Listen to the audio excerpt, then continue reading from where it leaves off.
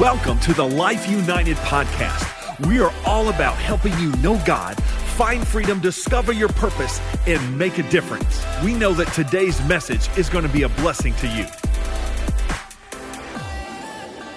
Hello, everyone. So good to be with you uh, tonight to share the Word of God with you on this Wednesday night. And we are we are moving toward Easter. This Sunday is Easter. It's Resurrection Sunday. It's when we celebrate the resurrection of our Lord Jesus. We know He was raised from the dead. He's seated at the right hand of the Father, and we celebrate that. And uh, so I want to share something with you. We've been talking about for the last number of weeks now about hope or expectations. And uh, so I want to talk to you for a little bit today about resurrection expectations because a lot of times we put everything in regard to the resurrection uh, and in regard to our resurrection into the future. And we celebrate the resurrection of Jesus and we celebrate the fact that, that he was raised from the dead so that we could live, we could have forgiveness of sins because of what he bore on the cross for us. And, and that's right. And, but you, you need to understand that the resurrection is applicable for your life, my life today. And we can expect things uh, from the resurrection now, not just when we get to the rapture, you know, when the dead in Christ rise and we rise together with them. There is a, another value that I want to show you today from the Word of God. But all our expectations as, as Christians are tied to the resurrection. And so, what are you expecting out of the resurrection? Now, I know most people are going to say, well, I'm expecting to one day to be raised like Jesus. And that's true and that's real. But, but I want to tell you, there's more to it. And I want to show you today from the Word of God some things that can help you. Uh, Martha eh, came to Jesus. Jesus had come to Lazarus. He heard he died. He was in the tomb. And, and Martha came to meet Jesus. And, and Martha said this. It says, as soon as, and, and this is in John chapter 11, verse 20, it says, Now Martha, as soon as she heard that Jesus was coming, went and met him, but Mary was sitting in the house. Now Martha said to the Lord, if you had been here, my brother would not have died. But even now, now listen to this, I know that whatever you ask of God, God will give it to you. And Jesus said to her, Your brother will rise again. Now, now notice where Martha is with this, okay? Jesus said, Your brother will rise again. Now we know because we've read this story about Lazarus that Jesus raised him from the dead. But that's not what Martha was thinking. Listen to what it says. Martha said, I know that he will rise again in the resurrection at the last day. Now, see, listen, that's really kind of how we look at the resurrection today. I know that when we're raised up, that resurrection of the just, when we're raised up, then, then we're going to receive everything that God has for us. But I want to tell you something. There's more than that in this story, and there's more than that to the resurrection than just what Jesus did for our future. Jesus said to her in verse 25, I am the resurrection and the life. He who believes in me, though he may die, he shall live. And whoever lives and believes in me shall never die. And he asked her, do you believe this? And Martha said to him, Yes, Lord, I believe you're the Christ, the Son of God, who has come into the world. So now listen to this a minute, okay? Martha had an expectation about the resurrection. And that expectation was for her brother to be raised from the dead at the end. And yeah, Jesus, I know. Well, Jesus said something pretty strong here. He said, uh, I am the resurrection. That changes everything.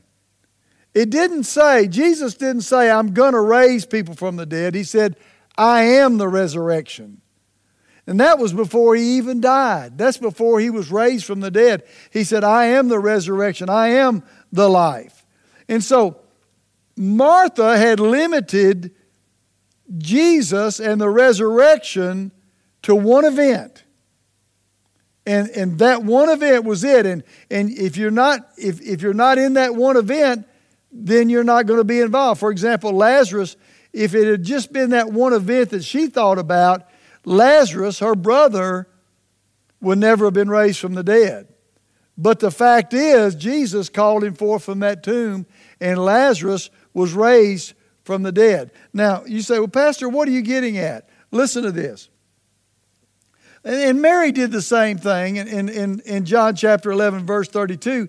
Mary came and said, Lord, if you'd been here, my brother wouldn't have died. Well, when you're the resurrection, it doesn't matter whether you die or whether you're sick, the resurrection can take care of it. But the thing that we need to understand out of this is, and the picture that we need to get out of this is, Mary and Martha, primarily Martha, had their focus on a future event and that that resurrection was for another time, yet that power of the resurrection, now listen to me, was available for her brother right at that moment when Jesus said, Lazarus, come forth. So you say, Pastor, what are you saying? Here's what I'm saying. Listen, and I'm going to get into this at the end of the end of the message here, but you, you've got to hear this. Listen. Jesus released the resurrection into everyday life. And I'm going to show you this from the Word. I think it's going to help you. but you, you've got to understand that, that when Jesus was raised from the dead, that resurrection power, according to Ephesians um, chapter 3 and verse 10, that it flows out. It, it's an outflowing, it's a power that's now generating in our lives today by the Holy Spirit. So you need to understand your expectation for what God can do regarding the resurrection should be more, it should be daily, it should be something God can do for me now, not something that is in the future. Now, listen, I'm not talking about dying and being raised from the dead today. What I'm talking about is the power that generated the resurrection is available today and it's available for you. So we're going to talk about that, but but I, I want you, and I want to build this expectation for you. But you've got to hear what the Word of God says about this, and if you if you'll understand this, it will really help you expect God to do something great in your life. And let me let me talk to you about this for a minute, and we're going, we'll talk about this, and we'll come back to to the resurrection power. But listen, if you're not expecting God to do something now, you're missing out on what God wants to do. Uh, over in John chapter 20, in, in verse, beginning in verse 3, it says, Peter went out and the other disciple, and they were going to the tomb. Now listen to this. So they both ran together. The other disciple outran Peter and came to the tomb first. He, stooping down and looked in, saw the linen cloth lying there, and he did not go in.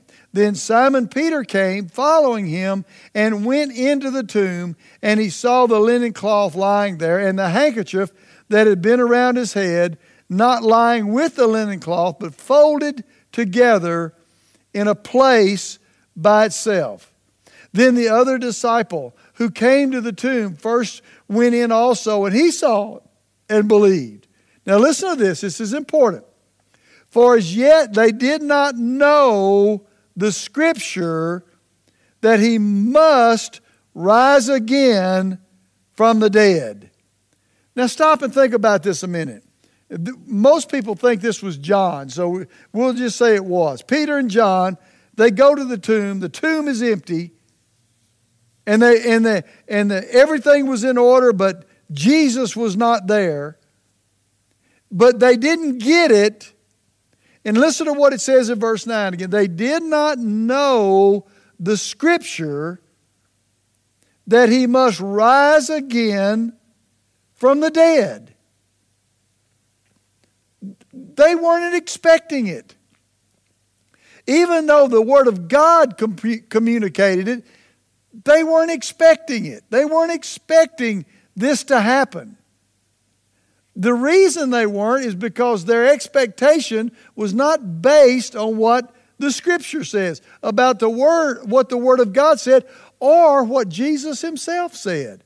Listen to Mark chapter 8 verse 31.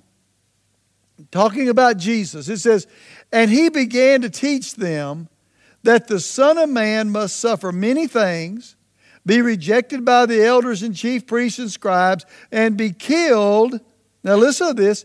And after three days, rise again. He spoke this word openly.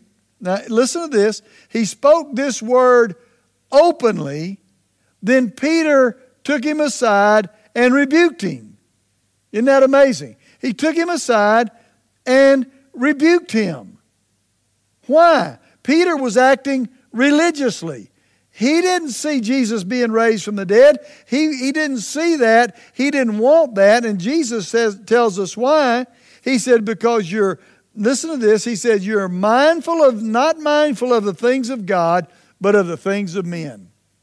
He was mindful of the things of men. In other words, natural things had totally clouded over what Jesus had just told him about the resurrection. And I want to tell you today, listen to me. God's power is available today. God wants to work in our lives today in resurrection power. But if you're not careful, your natural mind will get clouded over and, and you will not understand and realize that, hey, the scripture is talking about today. God can do something today over in Mark chapter 9. Remember, we just read that out of Mark chapter 8. So, again, in Mark chapter 9, listen to this. In verse 31, it says, Jesus taught his disciples and said to them, The Son of Man is being betrayed into the hands of men, and they will kill him. And he, now listen to this, after he is killed, he will rise on the third day. On the third day, he will rise. Now, I love the next verse, verse 32. They did not understand this saying and were afraid to ask. I guess so. After Jesus rebuked Peter and said, Get behind me, Satan, for you're mindful of the things of men and not of the things of God. I guess they were afraid to say something. But listen, listen to this. Listen to what it says. Jesus, right here, taught twice very clearly I'm going to die, I'm going to be raised again. But, but just so you get this, listen to this Mark chapter 10, verse 12. Listen to what, uh, I'm sorry, verse 32. Listen to what Jesus said. Now they were going down the road, coming to Jerusalem, and Jesus was going before them, and they were amazed. As they followed, they were afraid. Then he took the twelve aside and began to tell them the things that would happen to him. Now, listen to what Jesus said. We're going up to Jerusalem. The Son of Man will be betrayed to the chief priest and to the scribes, and they will condemn him to death and deliver him to the Gentiles. And they will mock and scourge him, spit on him, kill him, and the third day he will rise again. Jesus taught it over and over again to his disciples, but yet, listen, they were not expecting the word, y'all still with me? The word to work. They were not expecting that word to come to pass. And we know they weren't because of how they reacted after the resurrection, before Jesus revealed himself. We, we understand. They didn't get it, they didn't understand. Uh, it, I like what it says. They didn't know, they didn't understand, they didn't com- uh, completely realize what was going to happen, even though Jesus told them over and over and over and over.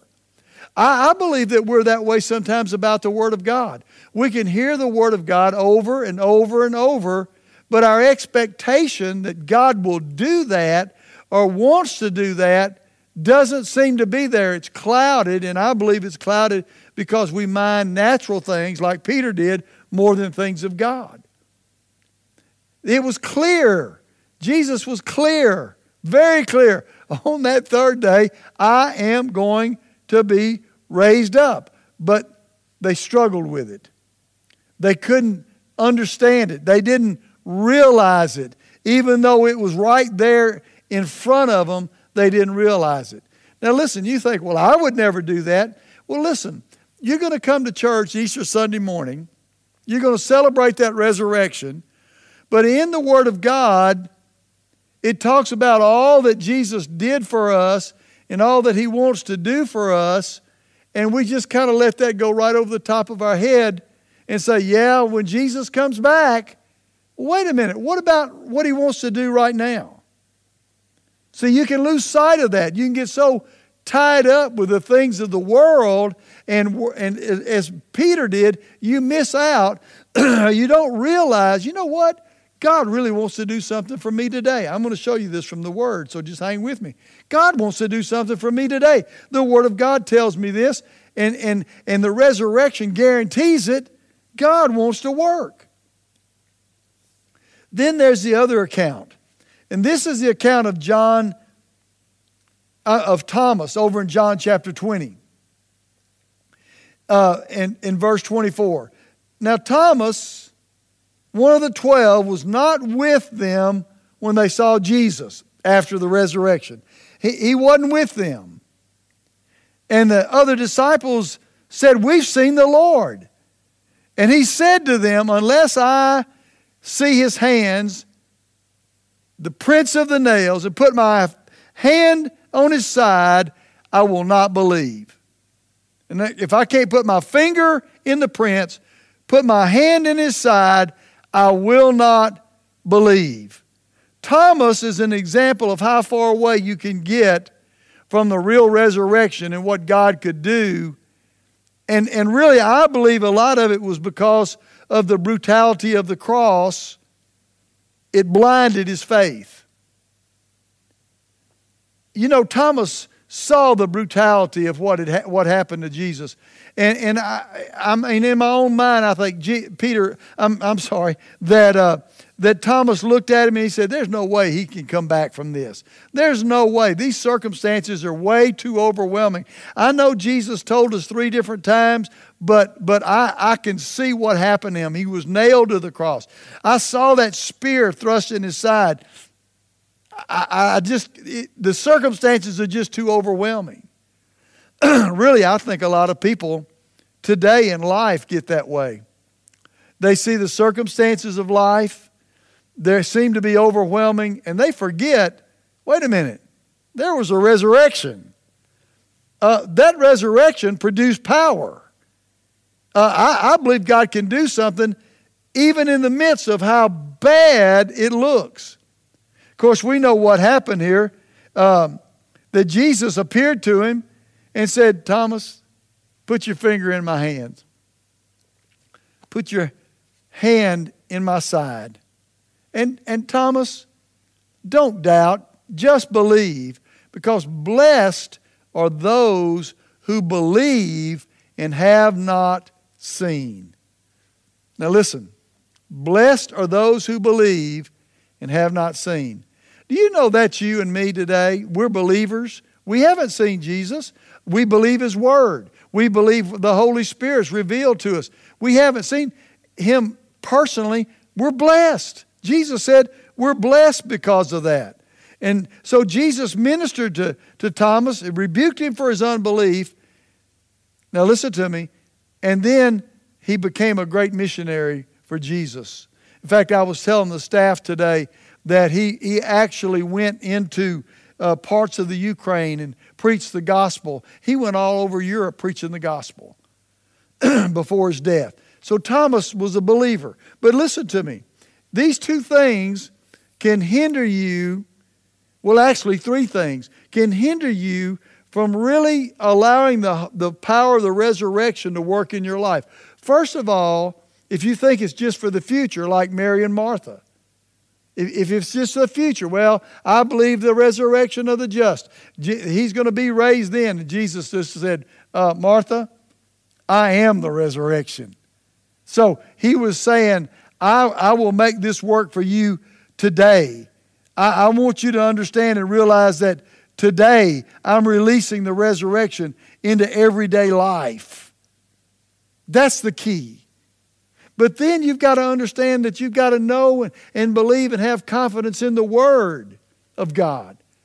The Scripture said that they couldn't believe the Scripture. Then they couldn't believe the living bread, the living Word, Jesus, when He told them Himself three different times boom, boom, boom, right in a row. So we've got to be cautious that we, we put other things above the Word of God. And we know God's Word is real, God's Word works. And then the third thing is don't get upset with circumstances and let them blind your eyes and, and blind your eyes to what the scripture says. Blind your eyes to the fact that if Jesus said something, that he wants it to happen and it'll work if you'll believe him and you're a believer and that's what you're called to be and you don't get swayed by the circumstances, no matter how dramatic they are. Listen, if you think about the resurrection, you have to back up to the cross. And you think about how brutal that cross was. Really, before he even got to the cross, Jesus was brutalized by the Romans. Stripes on his back. He was beaten. He was tortured. He was hung on that cross. He, he, was, he, was, he was in tremendous agony, not only physically, but, but because of us. And the disciples saw that. They knew that. And if you're not careful, circumstances will distract you. And I understand the brutality of that, but I also understand that Jesus told them over and over again hey, this is going to happen, but I'm going to be raised from the dead. There's a resurrection. There's a resurrection. Now, listen, I'm trying to bring this into to life today because here's what you've got to hear. Okay, this is this is really important. You've got to hear this. Ephesians chapter 1 tells us, beginning in verse 19, Paul is praying a prayer here. Let me, let me just back up here just for a minute.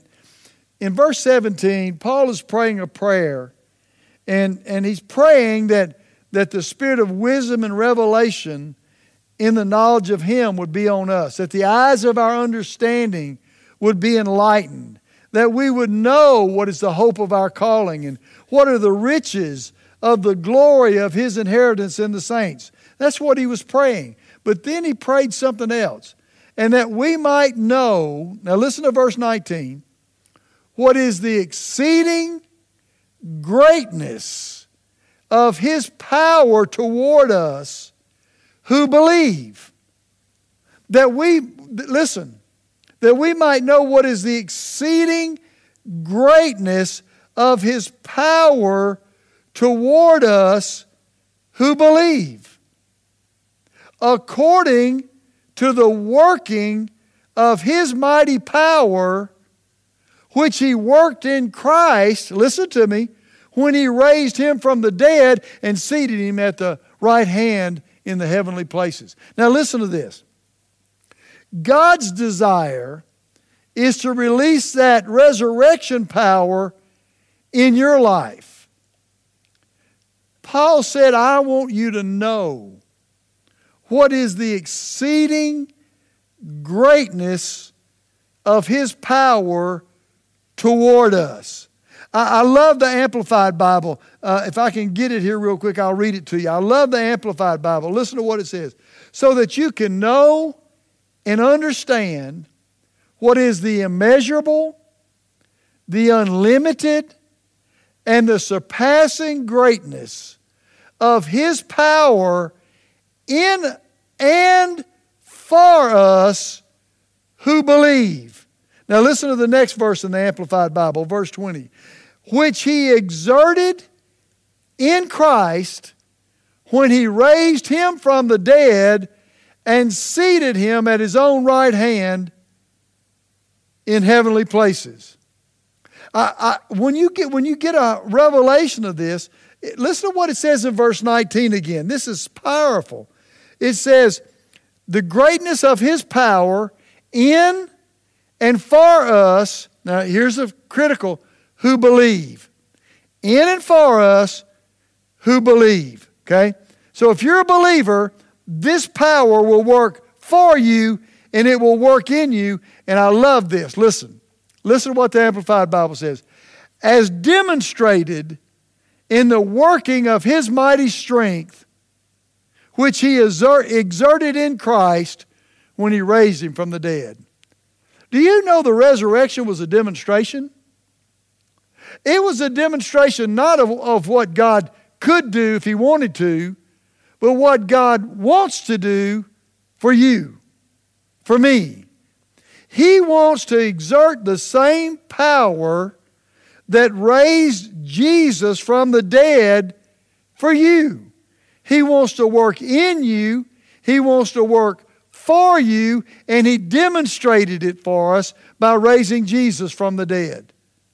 In other words, that resurrection, literally, I, I, I, love this, I love this phrase. That resurrection, literally, now listen to this, released the was released in our everyday life by that resurrection. Praise God, God's power is available for you to work in you and to work through you. Now, listen to this it's immeasurable. the minute you think you got God figured out and how far He can go, He just goes further. Go back to Lazarus, okay? Jesus is not in Bethany, Jesus is somewhere else, okay? They come and tell him, uh, Jesus, Lazarus is dead. Jesus said, Okay, I'll be there in a few days. And he didn't even go right away. And by the time he got there, Lazarus was in the grave, and, and his sister said, Now, Lord, you know he stinks by now. You can't measure the power of God. You can't measure it. It's unlimited and, and it's immeasurable. So you can't say, well, I'm going to believe God, but, you know, it's too late. Or, well, God can't do that now. Or, well, things aren't going to work out now. Listen to me. God's resurrection power was demonstrated through Jesus being raised from the dead. So that you and I, as believers, can allow that power to work for us and in us who believe. We live in a different place. We live in resurrection power. We're not going to live in it in the future. Jesus made it available for everyday life. What do you need in your life? You need healing in your body? You need God to work a miracle? You need God to work uh, uh, circumstances out in your life? And you think, well, I don't know whether God could do that. Wait a minute. It's the same power that raised Jesus from the dead. Could he raise Jesus from the dead? Oh, yeah then He can work in your life. He can do what you need done in your life because His power toward you, listen to what it says, is immeasurable, unlimited, and I love this, surpasses greatness. I mean, it is, it is so great that even what we would call great, it goes past that. And that's what God has for you as a believer. So number one, don't get trapped into thinking only what God wants to do is in the future. Don't get trapped not understanding the Word of God or letting it be blinded to, toward you. Don't get trapped with that. And don't get trapped as a, as a doubter because your circumstances are not what they ought to be. You need to look at your circumstances and say, you know what? God's power is available to change this. Just like God's power was available to change Jesus from a bloodied, beat up, tormented person on a cross to a glorified Savior at the resurrection, He can change my life. He can change my circumstances. He can change what I need in my life. I'm telling you, God wants to do that for you. God wants to work in your life, He wants to work supernaturally in your life. Because the hallmark, the, the benchmark, whatever you want to call it, the benchmark is the power that God used to raise Jesus from the dead. Now, I can tell you right now, you have not needed that much power in your life. I know you may think you have, but you haven't. But the good news is listen, the good news is that that power is available to you. I'm going to show you some more. This will help you if you'll grab hold of it. It's, it's the power that was demonstrated in the working of his mighty strength, which he exerted in Christ when he raised him from the dead. Man, I don't know about you, but that stirs my faith up. That Jesus literally was raised from the dead so that the resurrection could be real every day. Whatever it is in your life that you're struggling with, maybe you're having mental problems and you're thinking, I just don't see any way out of this. The power of the resurrection, the, listen, can literally give you a sound mind. If you'll just believe God and let God work, you would be amazed at what He can do. I don't know whether you realize it or not, but to me, knowing that that power that raised Jesus from the dead, listen to me, knowing that that power literally is available to me as a believer gives me hope. It gives me expectation that whatever circumstances I'm in, whatever challenges I'm facing or you're facing today, there's power available. God's available to work in your life. It is, it is a, a living thing. It's God working supernaturally to work in your life.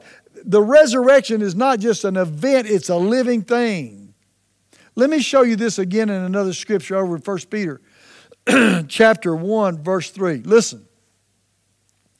Blessed be the God and Father of our Lord Jesus Christ, who according to his abundant mercy has begotten us according to a, now listen to this, a living hope. Here it is. You ready? through the resurrection of Jesus Christ from the dead. I have a living hope, an expectation that God can work because Jesus Christ was raised from the dead. He gave me resurrection life now. Now listen to verse 4. Listen. To an inheritance, incorruptible, undefiled, and that does not fade away, reserved in heaven for me. Now, listen to this who are kept by the power of God. What power is that? Same power that raised Jesus from the dead. I'm kept by the power of God through faith for salvation. Now, that word salvation there means healing, deliverance, preservation. It's not talking about just going to heaven. So now I'm kept by the power of God. How? Through faith for salvation, ready to be revealed in the last time. Man, I tell you what, we are living the life. We are living an expectant life. Not just on the end, we're living an expectant life of every day. We have a living hope. Jesus created this hope for us where we can actually live this life, this supernatural life, released every day for us. And I'm kept by that power. Listen, it's not something that's just kind of floating over your head and, you know, and things gonna everything bounces off of you because you're kept by the power of God It's through faith. You've got to activate the power of God, and you activate it by faith. Listen to this Colossians chapter 2, verse 12 will help you with this. Listen. I'm buried with him in baptism, in which, you, Paul said this, buried with him in baptism, in which you also were raised with him. You ready? Through faith in the working of God who raised him from the dead. I am raised up with him. I was buried with him by, in water baptism. I was raised up together with him, and now I walk by faith in the operation of God. I, I live by God's operation. I live by what God's Word says. I live by that, not by the circumstances, but by the Word, by what God has said. And so when you get your mind set on that and you get focused on that, all of a sudden, challenges are not challenges anymore.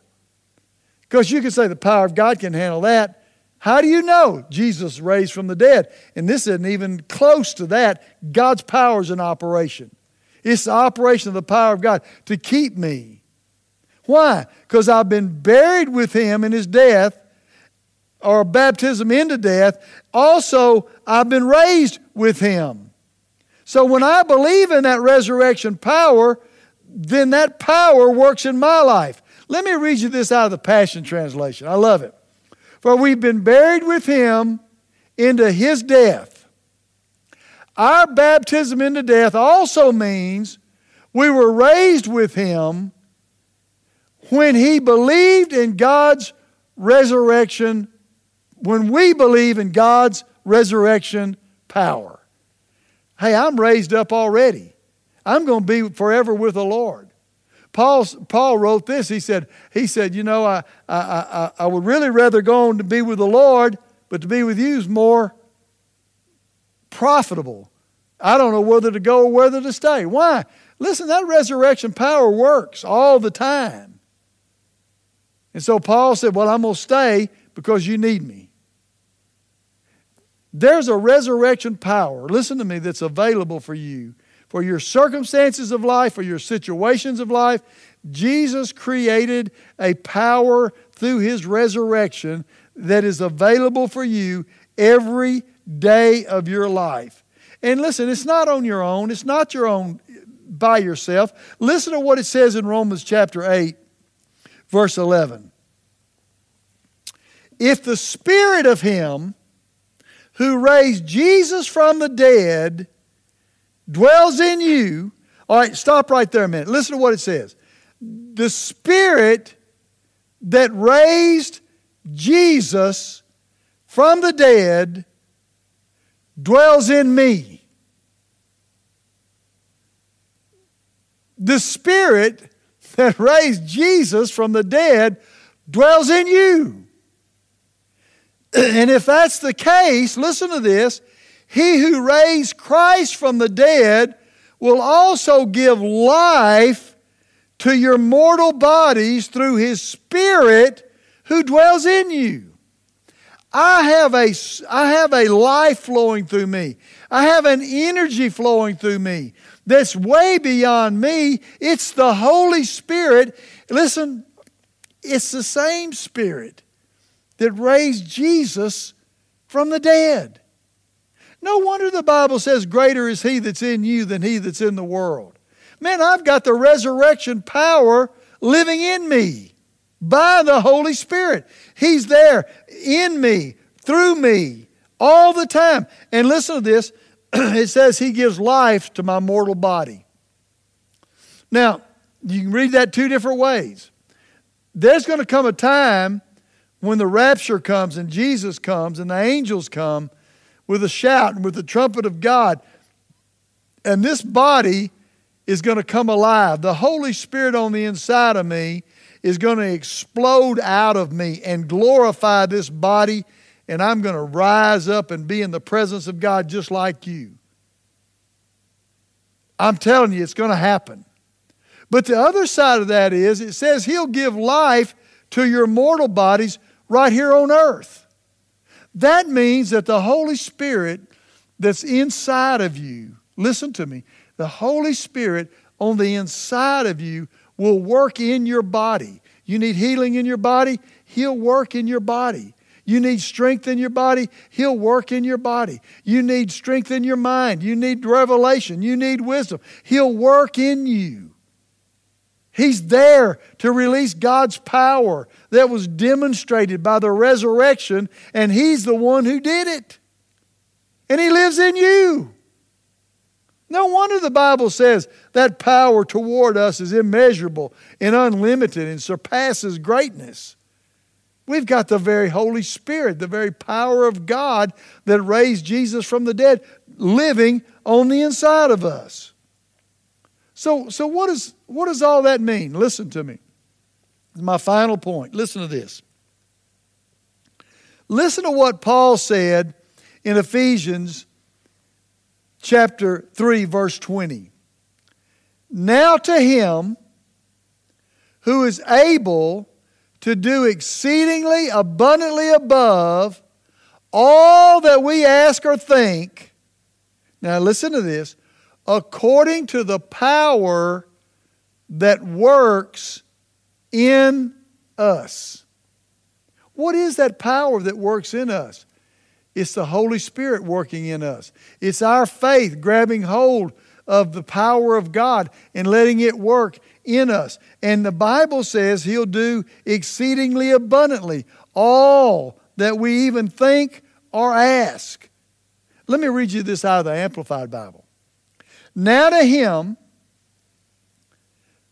who, in consequence of the actions of His power that is at work within us, you ready? Listen to this. Is able to carry out his purposes and do super abundantly, far over and above all.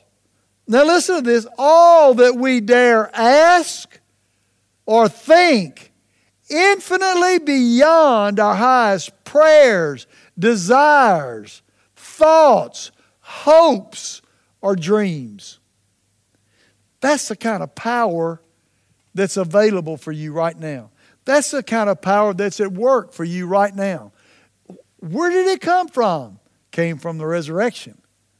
Because when Jesus was raised from the dead, the resurrection exploded into the earth. It lit, listen, it literally, if you hear this, it'll, it, it, it's just almost beyond your thought processes to, to realize this if you'll listen to this, He gave us the power that raised the Son from the dead so that we might live in His power and His strength in our lives on this earth. You say, well, Pastor, I'm not having that in my life. You can. How do you do it? You do it by faith. You believe the Word of God. You let God work, you let the Holy Spirit work in your life, and you'll start seeing. It won't come as an explosion, it'll just come one thing at a time. God will start working here, God will start working there.